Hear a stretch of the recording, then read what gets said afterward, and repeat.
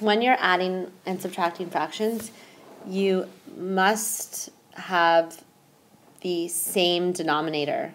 Okay, so the denominators must be the same. If they're not the same, you have to make them the same. You have to find a common denominator. Oh, when Okay. you did that thing. Remember this? on- This is um, B. What are my what's my denominator for the first one? Um, two. Good. And my denominator for the second fraction? It's three. Okay, so I have to find the same denominator. So I need to figure out what I can multiply this by and what I can multiply this number by to get the same answer. So we have to think of multiples of 2 and multiples of 3. So, So- when you're doing so two. 2, 4, 6, 8, 10. Okay, I'll stop there. And multiples of 3 are 3, 6, 9, 12. Okay, and then 2, 4, 6, 8, 10. Sorry, I ran out of room, that's why I stopped. 12. Yeah, so right? we could use six. Because Yeah, we could use six nothing. exactly because the reason I put that twelve there is because it has it doesn't have to be, but it, Yeah. it's And it it's me know that quicker. there's 12 and yeah, 12, it's quicker if you do Could the I have done it lowest. with 12 and 12 if I wanted to? You but could, but then you have to have um, more steps after. You have to reduce. You always have to put the fraction in lowest terms. Oh, okay. So it's easier if you find the lowest common denominator. Yeah. Okay. So two times one, two, three is six, right? oh, so you. Oh, um, I'm there putting six for both. No, because you want your answer to be six. Maybe I should do. Okay. And then three times two is six.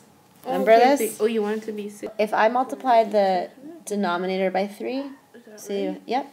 Two times three and three. Exactly. It's a little confusing. But if I multiply the denominator by three, whatever you do to the denominator, you have to do the numerator. Yeah. So for this fraction, because I did two times three, well, I have to multiply the numerator by three. By three, right? So 1 okay. times three is three. Okay? Three over six, and then, Then I have, top you have to do times mine- two, right? Right, exactly. So, but you have to watch the sign here. It's actually a negative two two, times oh. two. A So and a positive is a and negative. So it's gonna be negative four. Good. Okay. So I could put this number in brackets, just so you remember that it's three over six take away negative four over six. Yeah. But when you're adding and subtracting fractions, I'm just gonna flip to the next page. So- So we had three over six take away, oops, sorry, negative four over six.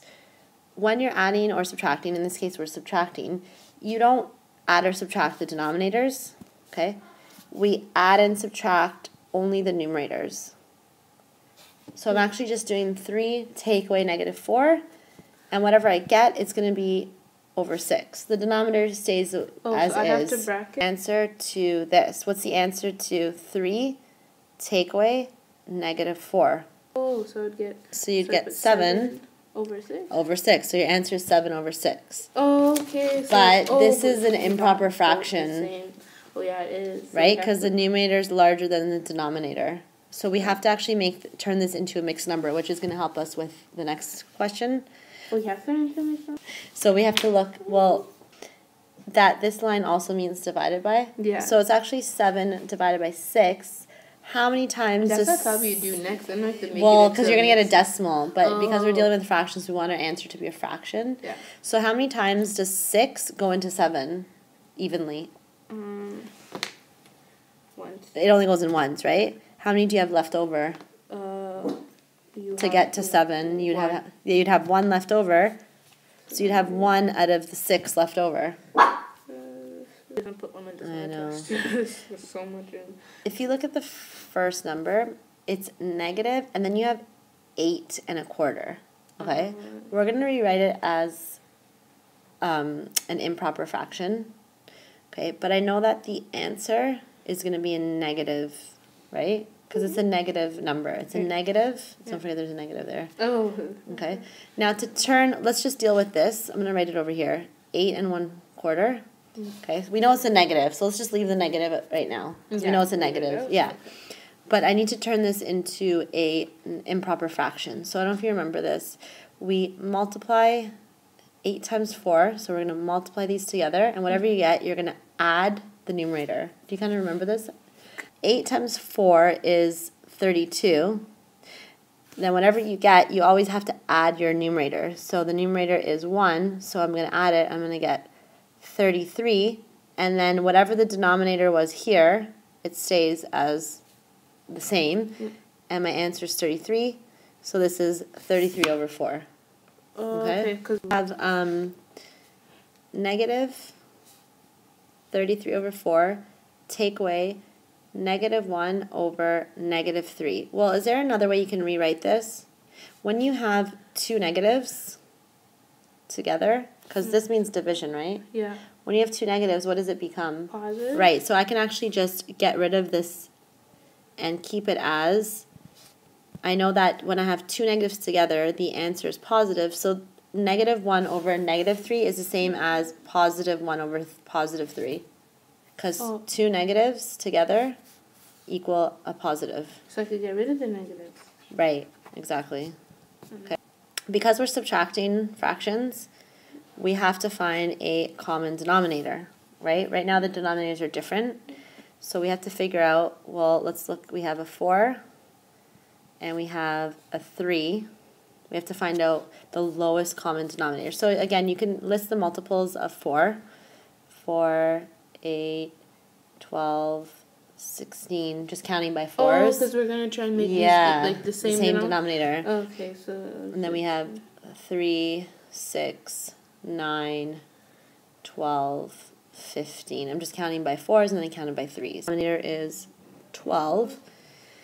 And well, how do we get there? How many times did I have to write 4? So for this one, you have to do One, one, two, two, three. Which means I'm going to multiply, look here for a sec, this by 3, right? So I do this. Yeah, and if I multiply the denominator by 3, I have to multiply the numerator by 3, just so you don't forget. Okay? And then for this one, one, two, three. four. good. So we have to multiply this by 4. What do you have to do to the numerator? So then you do it by four as Good. well. So four, three times four. And 1 times 4. Okay, now we can solve that. Maybe let me move this. We know, so I'm just writing my two fractions. I know the denominator is 12 for both of them. Okay, now we have to figure out what's the numerator. So you have negative, don't forget it's negative. Oh yeah, negative 33 times 3, negative 99, and then we have 1 times 4, is right? um, 4. Good.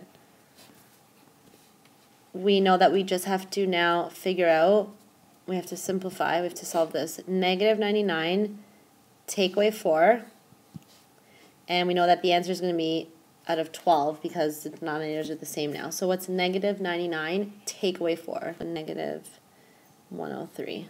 Neg- Because 12 goes into 103 eight times. and you're that twelve. Yeah, so 12 times 8 is 96, into right? 103 eight times. Yeah.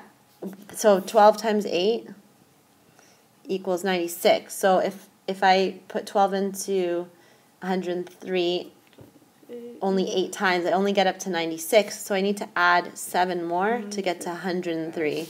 Made with Doodlecast Pro.